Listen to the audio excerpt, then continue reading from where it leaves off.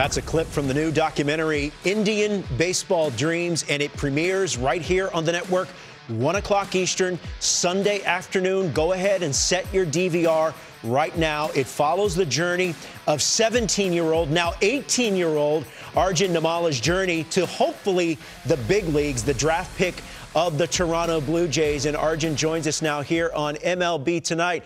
We appreciate you joining us. What do you what do you hope that people come away with after watching the film on Sunday?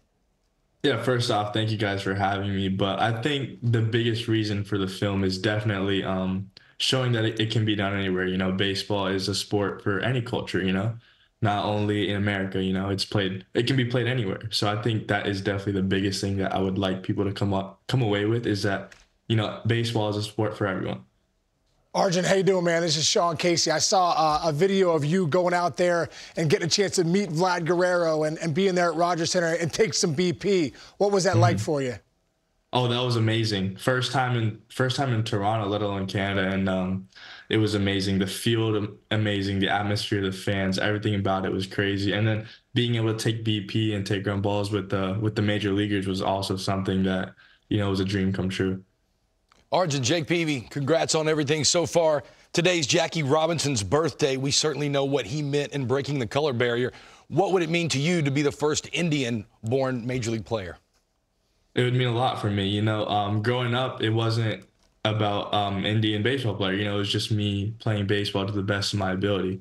And now I understand that it could mean a lot more. So being the first would definitely mean a lot to me, and it's something that you know can that I can only express a feeling saying it's amazing. You know. Arjun, uh, we see you uh, plying your trade here, uh, there as you get ready for what would eventually be a first round draft pick call from the Toronto Blue Jays. I saw a clip of you uh, playing cricket in the streets, and uh, you commented that the cricket swing and the baseball swing are very different. Uh, for those of us uh, that maybe aren't as familiar with the game mm-hmm. of cricket, how would you compare the two? I think that, I mean, cricket and baseball are two different sports. I think the biggest similarity you guys know is um, the bat and the ball. But when it comes to swing, it's totally different because in uh, cricket, you know, you're bouncing the ball. So you gotta, you gotta be able to time that. And then the thing about baseball is that there's also different pitches, um, fastball, curveball, changeup, but that's all coming in the air. With cricket, everything's bouncing off the ground, so it's all just matching the plane, and it's just it's just way different, guys. Oh man, bouncing off the ground. Only Vlad Guerrero, a senior. Vlad senior, you're right. Yeah, yeah. Yeah. Arjun, I know, I know this is a time, obviously, before spring training, you're getting ready to fine tune your craft, especially your swing. What are you working on right now with your swing? I think the biggest thing um, swing wise is just being more consistent, you know, being able to um, get to every pitch and be more adjustable, you know, especially getting better connection backside and staying through the ball a little bit better, as well as, you know, utilizing my lower half. So there's there's definitely a lot of things that I'm working on this um, off season that can definitely help me going forward.